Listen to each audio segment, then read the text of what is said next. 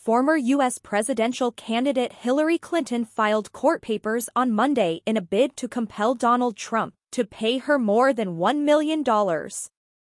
According to the motion, she is demanding compensation for money spent fighting a lawsuit that alleged she had engaged in a conspiracy to undermine Trump's 2016 presidential campaign by claiming he colluded with Russia.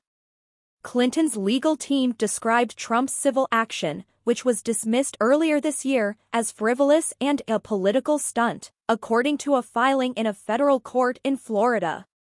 Lawyers argued that it should result in sanctions in the form of $1.06 million that would be used to cover legal fees and costs. A reasonable attorney would never have filed this suit, let alone continued to prosecute it after multiple defendants' motions to dismiss highlighted its fundamental and incurable defects, Clinton's attorneys wrote.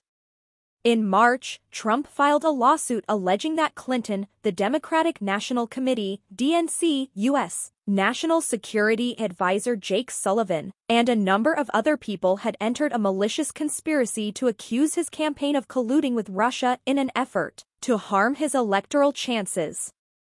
At the time, Trump claimed the rumors had cost him over $24 million.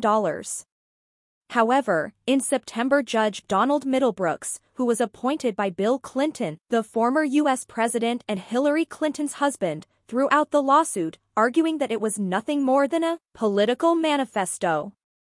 He also noted that Trump filed the suit too late and failed to provide evidence for the alleged conspiracy. The former president has appealed the ruling.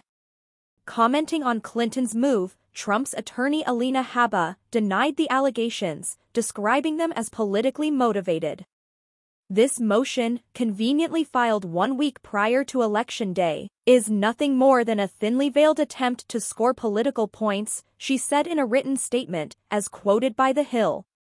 In 2016, the United States accused Russia of interference in the presidential election to harm Democratic nominee Hillary Clinton and boost the Republican candidacy of Donald Trump, an allegation which has been vehemently denied by Moscow. U.S. authorities also investigated whether Trump and his campaign colluded with Russia but failed to find evidence to bring any conspiracy or coordination charges.